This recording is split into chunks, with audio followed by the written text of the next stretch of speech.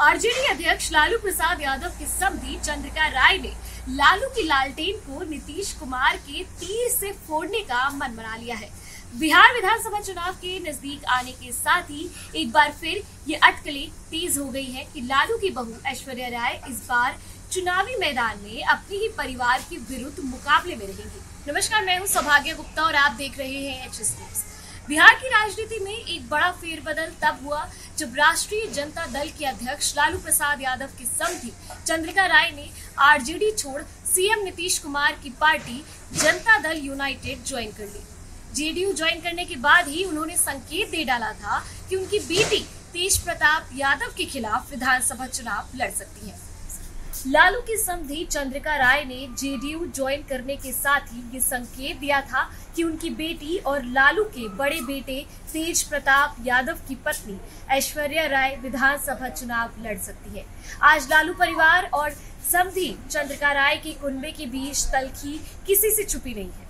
चंद्रिका राय, लालू प्रसाद यादव के परिवार में अपनी बेटी के साथ किए हुए दुर्व्यवहार को नहीं भूले हैं।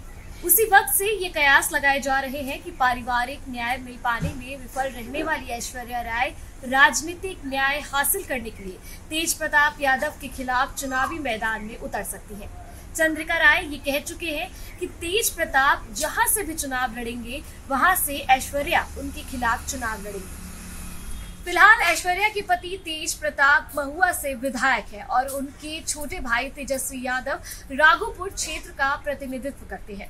संभव है कि जेडीयू लालू प्रसाद यादव को झटका देने के लिए ऐश्वर्या राय को महुआ विधानसभा सीट से तेज प्रताप यादव के खिलाफ उतार सकती है। ऐसा नहीं है कि लालू परिवार को इसकी आशंका नहीं है। इसी को भाप कर तेजस्वी यादव ने ऐश्वर्या राय की काट का इंतज़ाम उनके घर से ही कर लिया है। जुलाई में तेजस्वी ने ऐश्वर्या की चचेरी बहन डॉक्टर करिश्मा को आरजेडी में शामिल किया था। ऐसे में बहुत संभव है कि ऐश्वर्या राय के खिलाफ आरजेडी उन्हीं की चचेरी बहन को मैदान में उतार सकती है। मुसीबत तो तब पैदा होगी जब ऐश्वर्या तेज प्रताप के चुनाव क्षेत्र में मैदान में कूद जाएँगी। लालू प्रसाद यादव के बड़े बेटे तेज प्रताप यादव के साथ चंद्रिका राय की बेटी ऐश्वर्या राय की शादी हुई है। लेकिन शादी के महज छह महीने के भीतर ही तेज प्रताप यादव ने तलाक का मुकदमा दायर कर दिया। इसके बाद लंबे समय तक ऐश्वर्या राय ससुराल में रही।